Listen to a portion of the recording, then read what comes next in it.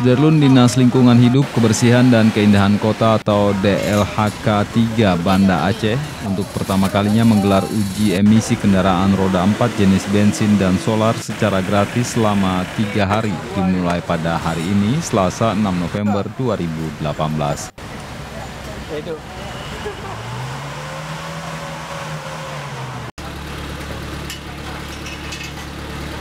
Sementara pada Rabu dan Kamis akan diadakan di Asrama Haji dan Barata Mall.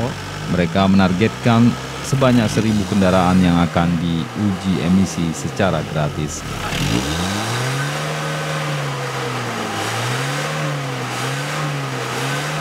Ya, uh, uji emisi yang kita lakukan pada hari ini, ini baru pertama kalinya kita dilakukan oleh Kota Banda Aceh.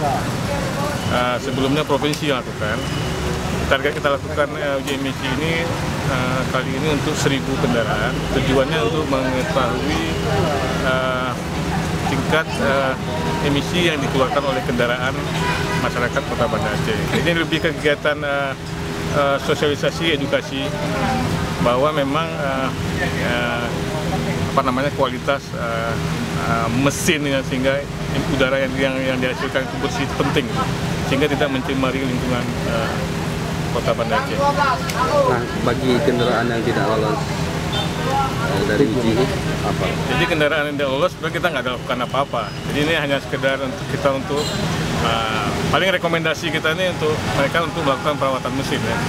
Tapi uh, pada umumnya nih kelihatannya lolos emisi semua.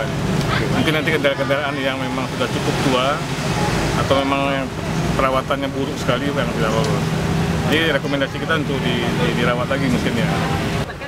Dalam kegiatan uji emisi ini pihaknya bekerja sama dengan Satlantas Polresta Banda Aceh, Dinas Perhubungan Banda Aceh, sejumlah dealer mobil, serta tenaga ahli dari Jakarta dalam evaluasi kualitas udara perkotaan atau EKUP. Untuk kendaraan yang lulus uji emisi, petugas menempelkan stiker lulus uji pada kaca bagian depan mobil. Sementara bagi yang belum lulus diminta untuk segera melakukan perawatan terhadap mobilnya.